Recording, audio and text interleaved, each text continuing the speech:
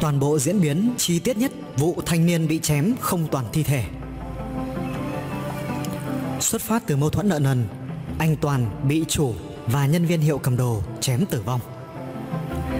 Liên quan tới vụ án mạng kinh hoàng xảy ra tại khu phố 1, thị trấn Hương Canh, huyện Bình Xuyên, tỉnh Vĩnh Phúc vào đêm mùng 3 tháng 7, khiến nạn nhân là anh Nguyễn Minh Toàn, sinh năm 1991, ở thị trấn Hương Canh, bị chém đứt đầu. Cơ quan cảnh sát điều tra công an tỉnh Vĩnh Phúc đã bắt giữ hai trong số 3 nghi can gây án. Đối tượng liên quan còn lại hiện đang được cấp cứu tại bệnh viện Việt Đức. Ngày mùng 4 tháng 7, trao đổi với phóng viên, Đại tá Đỗ Thái Học, trưởng phòng tham mưu công an tỉnh Vĩnh Phúc cho biết, vụ việc xảy ra vào khoảng 21 giờ ngày mùng 3 tháng 7 khi Nguyễn Minh Toàn đến hiệu cầm đồ của Trần Cao Thái, sinh năm 1994, cùng khu phố 1 thị trấn Hương Canh để thỏa thuận về việc trả nợ. Tại đây, Toàn và Thái xảy ra xô xát. Toàn đánh nhau với Thái và Hoàng Đình Thu, sinh năm 1990, trú tại Bảo Cường, Định Hóa, Thái Nguyên, nhân viên làm thuê cho Thái. Quá trình đánh nhau, Toàn dùng dao đâm Thái bị thương, sau đó bỏ chạy về khu trung tâm thương mại Bình Xuyên. Thái và Thu truy đuổi không kịp nên Thu gọi điện cho Nguyễn Văn Cường, sinh năm 1985, trú tại Đồng Cương, Yên Lạc, Vĩnh Phúc, một nhân viên khác làm thuê cho Thái, gọi cứu viện. Khoảng 10 phút sau, Cường cầm con dao phớ đến tiệm cầm đồ của Thái, tiếp tục cùng Thái và Thu đi tìm đánh Toàn. Khi đến khu vực trung tâm thương mại Bình Xuyên, nhóm Thái phát hiện Toàn đang cầm dao, đứng một mình, liền xông vào. Quá trình đánh nhau, đến lượt Thu bị Toàn đâm trọng thương khi dùng gậy tấn công Toàn.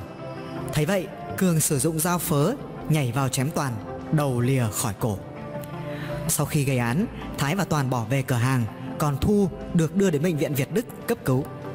Sau khi nhận được thông tin, lãnh đạo công an tỉnh Vĩnh Phúc đã chỉ đạo các phòng nghiệp vụ phối hợp với công an địa phương nhanh chóng có mặt bảo vệ hiện trường, tiến hành điều tra, đồng thời bắt khẩn cấp Nguyễn Văn Cường và Trần Cao Thái. Nhân chứng thuật lại Trở lại hiện trường vụ việc, anh Nguyễn Sơn Hà, sinh năm 1989, trú tại khu phố 1, thị trấn Hương Canh, huyện Bình Xuyên, tỉnh Vĩnh Phúc. Nhân chứng trong vụ việc kể lại. Trước thời điểm xảy ra án mạng ít phút, khi anh đang ngồi trên ô tô đỗ trong con đường thuộc khu phố 1, thì thấy anh Toàn, bạn học cùng cấp 2, đi xe máy cùng hai thanh niên khác về tới ngã tư và còn nghe thấy Toàn nói với hai người đi cùng. Chúng mày đi về đi. Sau đó anh Toàn xuống xe, tay cầm một con dao đi vào con ngõ anh Hải đang đỗ xe. Bất ngờ xuất hiện ba thanh niên đi xe máy ập tới chém Toàn. Trong khi luống cuống chống trả, anh Toàn đã bị nhóm đối tượng chém tử vong. Diễn biến vụ việc quá nhanh, chưa đầy 15 giây.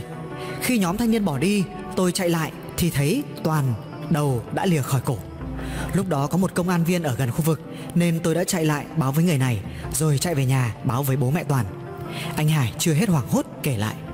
Cũng theo nhân chứng Nguyễn Sơn Hải, trước đây anh Toàn và Thái từng có mối quan hệ thân thiết và cùng làm cầm đồ với nhau.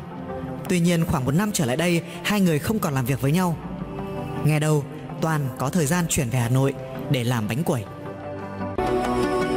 Cảm ơn các bạn đã theo dõi video. Hãy nhớ bấm đăng ký để theo dõi thêm nhiều video mới. Chúc bạn luôn vui vẻ.